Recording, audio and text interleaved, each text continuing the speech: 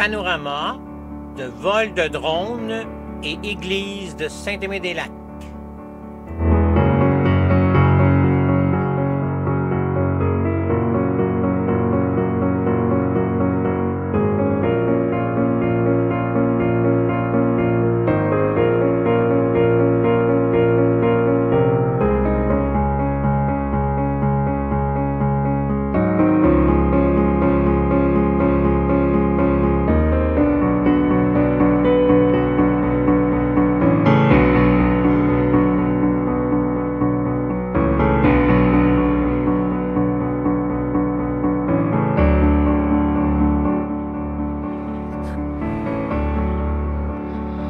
Alors voici, nous sommes au premier arrêt de ce majestueux sentier qui s'appelle le Riverain.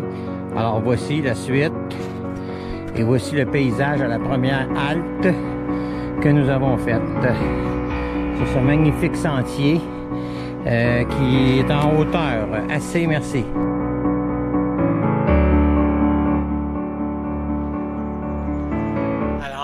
Dernier arrêt de cette belle randonnée sur le sentier Le Riverain euh, au Parc national des Hautes-Gorges.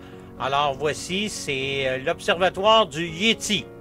Malheureusement, il n'était pas là.